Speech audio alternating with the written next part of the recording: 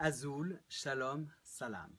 I'm so excited and very happy to invite you to join us for the World Music Festival in Gibraltar. I am very proud to open this festival with my first movie, Tinghir Jerusalem. And I am also really pleased to begin the shooting of my second movie in this beautiful place. I wish you all the best from the mountains of Atlas in Marrakesh. يلا أجي وإن شاء الله نشوفكم. See you there. ليتراوت السلام عليكم.